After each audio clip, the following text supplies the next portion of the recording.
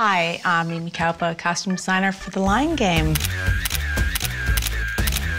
So our lead actress, Alexandra Chando, just been to the beach, and I thought, what a wonderful way to set off her California tan with a hot pink Trina Turk blouse. Put it with some blue flip-flops, a little casual, uh, you know, California, Venice Beach kind of jewelry. Mads is still back in Scottsdale. Mads, I believe, in real life is a Clash fan, and every time she can wear combat colors, she does. She loves the army green. This is a, you know, little tough, edgy outfit for her. Love these high heels. They're uh, kind of a wild heel. And um, we found this great handmade bracelet in one of the little boutiques here in Austin and thought it'd be perfect for that. It's got some dangly earrings. And we uh, used a strange brass ring that seemed to go with this outfit. Alice Greczyn seemed to like it, gave her a lot of power.